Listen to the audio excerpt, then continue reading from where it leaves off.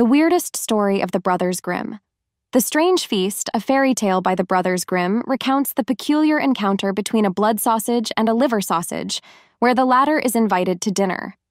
However, upon entering the blood sausage's home, the liver sausage is bewildered by the bizarre sights within. Each step reveals increasingly odd occurrences, including a quarrel between a broom and shovel and a wounded monkey. The underlying message of The Strange Feast by the Brothers Grimm appears to caution against overstepping one's boundaries and engaging in precarious situations, epitomized by the liver sausage's encounter with unsettling occurrences in the blood sausage's home. Why do you think the Brothers Grimm used inanimate objects for the story? If you want to know more about eccentric tales, click the link below.